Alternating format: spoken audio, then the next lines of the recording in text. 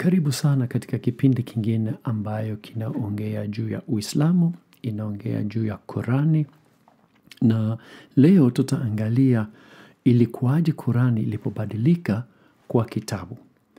Na ninaposema kubadilika kwa kitabu ni kwamba tunajifunza katika desturi au utamaduni wa Kiislamu kwamba au mapokeo ya Kiislamu kwamba eh, Muhammad alipokea mafunuo halafu aliwaeleza wale watu wake na wao wakainukuu au wakaandika notsi zao, lakini Muhammad hakufanya kazi ya kuorganize eh, Qurani iwe kama kitabu. Kwa hiyo hiyo ni kitu ambayo ilifanyika baadaye katika historia, na leo tutakwenda kuangalia mapokeo ya Suni, kikundi cha Suni wa Waislamu, jinsi wao wanavyofikiria juu ya hiyo process. Na tuna, tunaambiwa kwamba Qurani ilishushwa kutoka kwa Allah na tunajua kwamba ilipitia kwa malaika moja anaitwa Jibril. Eh, imekuwepo milele mbinguni na inalindwa. Hiyo unaweza kusoma katika Korani 85 na mstari wa 22, lakini ukienda kusoma pale utaona kwamba haisemi imelindwa milele wala ni wapi imelindwa. Inasi, inasema tu ubao uliohifadhiwa, basi hakuna maelezo zaidi.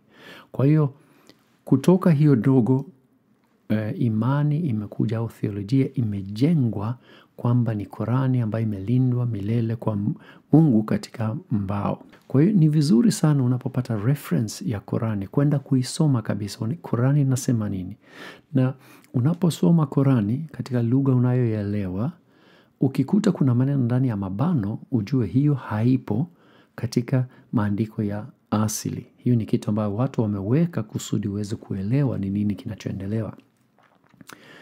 Eh, eh, mapokeo ya Suni pia inasema kwamba haijabadilika kwa sababu inalindwa na ala na inasema pia kwamba ni mama ya vitabu, na hiyo unaweza ukaipata katika Qurani 13 39 au 43 na aya ya 4. Kwa hiyo inaongea kwamba kurani ni mama ya vitabu na wanaamini kwamba imelindwa kimeujiza na haina mabadiliko hadi siku ya leo, na hiyo hoja inaweza ikapingwa sana na inaweza ikakanushwa sana pia, lakini hiyo ni imani. Tunaongea juu ya imani ya, ya kikundi cha Suni, Waislamu wa Suni. Kwa hiyo tuki, tukirudi nyuma sana sasa katika mapokeo haya tunaelezwa hivi kwamba Muhammad alifariki na Abubakar akachukua, akachukua nafasi yake katika kutawala au kuongoza eh, hao Waarabu au hao Waislamu sasa. Na baada ya kifo cha Muhammad wengi wanaacha kwanza imani na Abubakar anaanza kuwafosi kurudi, na vita vinapigwa na wengi wanakufa. Umar ambaye pia anaishi wakati huu anasema ingefaa kukusanya maneno ya Muhammad, yani Qurani, katika maandishi kusudi zilindwe, kwa sababu kati miongoni mwa hawa wanaokufa ni watu ambao wamekariri Qurani. Kwa hiyo wengi wanakufa na wanaanza kuhofu kwamba labda maelezo hayo ambayo tulipewa yatapotea, kwa sababu mtu akifa hawezi akaongea tena, na kama anayo rejea fulani ambayo mwingine hana itakuja kupotea. Kwa hiyo akasema ngoja tuwaandike katika kitabu. Abubakar hakufurahia, alikuwa na mashana, mashaka sana. Alisema kwamba tufanye kitu ambayo mtume mwenyewe hakuagiza tufanye, lakini baada ya kushawishiwa anakubali na anaona kitu kizuri. Kuna jamaa mmoja ambaye anaitwa Zaid anapewa majukumu, na yeye nafikiri alikuwa ni mwandishi pia wa wa Muhammad kwa wakati wake, alikuwa ni kama karani hivi au ya mwandishi. Naye yeye pia ana mashaka. Kwa sababu anaona ni kazi kubwa, na anadai kwamba hata Muhammad hakudai tufanye hivyo, lakini na yeye baada ya kushawishiwa anakubali. Na anaanza kufanya hiyo kazi. E, na tukumbuke kwamba hayo maelezo tunapewa na mtu ambaye anatuletea hayo miaka mia mbili hamsini baada ya Muhammad. Kutoka wakati wa Muhammad mpaka tunapopata hizo habari, miaka mia mbili hamsini zinapita katikati, na hiyo ni kitu ambayo ina inaleta ugumu kwa kuamini kwamba hayo ni maelezo halisi, lakini ni imani ya Kisuni, kwa hiyo tunaenda nayo imani yao. Hakuna ushahidi wa mambo hayo na hakuna pia Korani kutoka wakati huo. Ni maelezo tu ambayo tumepata kwa Sahih Bukhari ambaye ndio aliyeandika. Lakini tuende na mapokeo, maana ndio tunajaribu kufanya. Na mapokeo haya yanatuambia kwamba Zaid alikusanya na akampa Abubakar, akampa kitabu sasa na, na kwa hiyo yale yote waliokuwa na nukuu imekuwa ni kitabu, na tunaambiwa kwamba alikusanya kwa sababu alienda kwa watu na alipata maelezo yao. E, wakati mwingine alikuta maandiko kwenye mifupa, wakati mwingine kwenye majani, wakati, yani sehemu mbalimbali watu walikuwa wameandika hizo, hizo aya za kurani na ndio akakusanya.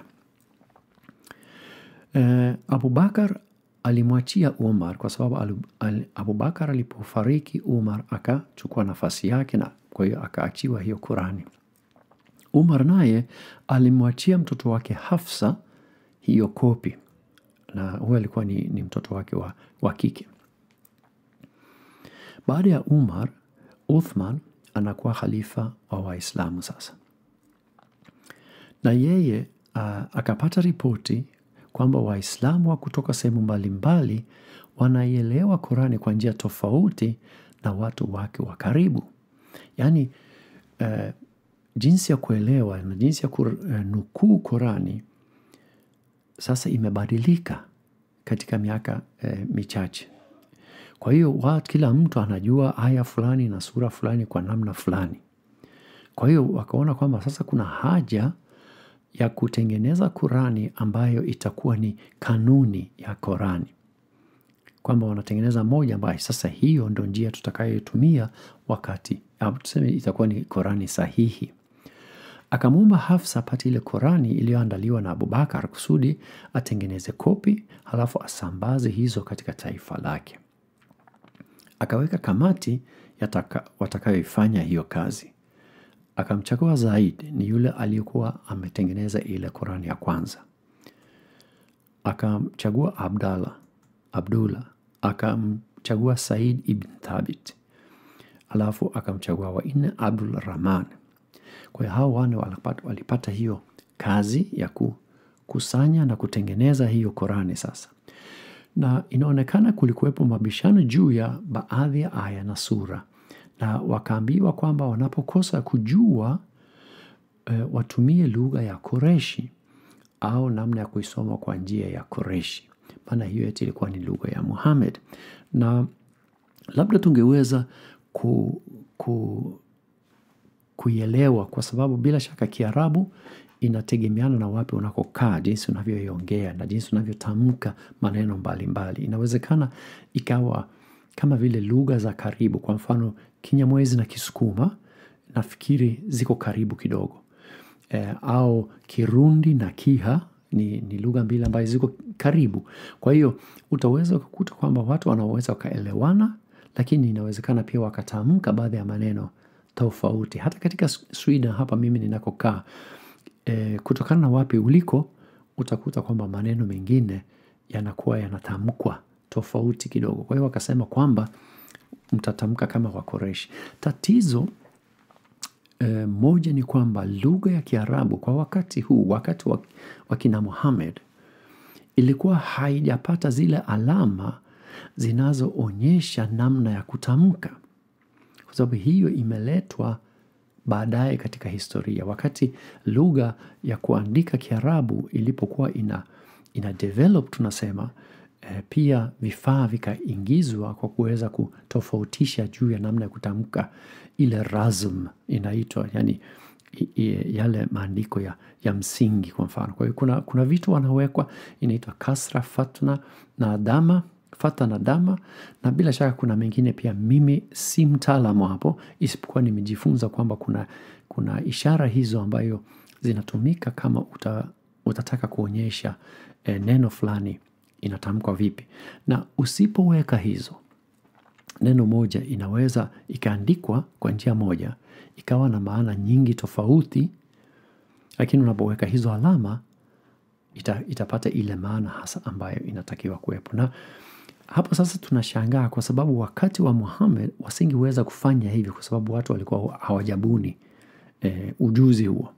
Lakini wakati e, e, Sahih Bukhari anaandika ilikuwa imeshaingia ufahamu huo. Hapo tuna, inaleta shaka kidogo kwamba hii kweli ilifanyika wakati ule au ni kitu ambaye mtu ambaye aliishi miaka mia mbili hamsini akatumia uelewa wake na akaisukumia kwa watu ambayo walikuwa hawana.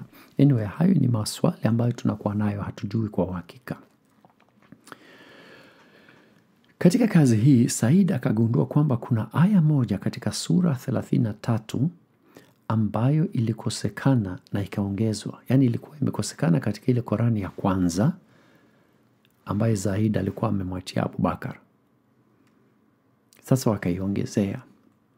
Kwa hiyo Qurani ya kwanza na ya pili ilikuwa na tofauti. Kwa hiyo tunahitaji kujiuliza ipi sasa iliyo sahihi.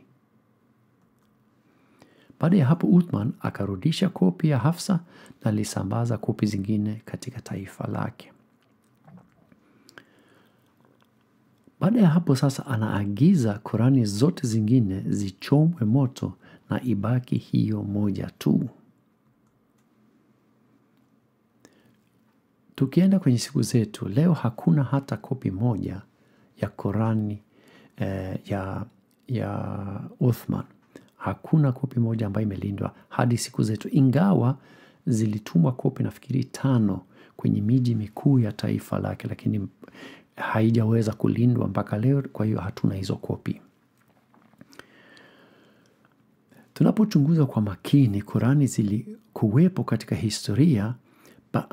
Baada ya muda huo, tunapata kwenye Kurani kama mia saba tofauti za Kiarabu ambayo zinakuwa na, na mwandishi wake rasmi. Kwa hiyo waandishi, mtu anaandika na anaweka jina lake, hiyo ni Kurani ya fulani. Unaona, kwa hiyo inakuwa ni hivyo, na, na hizo zote zinakuwa na tofauti mbalimbali mbali. Uh, kuna wataalam, kuna makundi wa wataalam ambayo wamelinganisha maandiko na wameweza kuona kwamba hakuna hata mbili zinazofanana mwanzo mpaka mwisho. Tukichukua Korani mbili zilizo maarufu siku zetu, kuna moja inaitwa Hafs, wakati mwingine wanaita ni Cairo edition, na hiyo ili, ilipangwa kama kanuni ya, ya Korani mwaka 1985.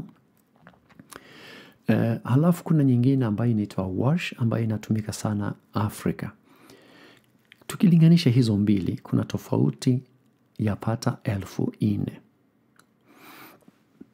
Hizo ni nyingi, na haina maana kwamba hizo, hizo tofauti elfu nne zinakuwa na maana ambayo inabadilisha tuseme mafundisho ya Kiislamu, lakini pia yapo, lakini sio kwamba kuna, kuna mambo elfu nne yanayobadilisha au ambayo yanaleta mabadiliko makubwa. Inawezekana ni jambo ndogo hapa, jambo ndogo nyingine hapa, lakini wanapolinganisha maandiko, hata kama wanapofanya hivi na Biblia, ni kwamba wakiona kwamba kuna herufi moja sehemu fulani imekosekana katika manuscript moja, watasema hiyo ni corruption, hiyo ni, ni tofauti, hata kama wana, wanaweza wakawa na uhakika wa asilimia 99.9 kwamba ni yule mwandishi tu ame, ame, amepitiwa na hiyo. Pia hata katika Qurani hizo matatizo kama hayo yapo, lakini kuna matatizo mengine ambayo inabadilisha.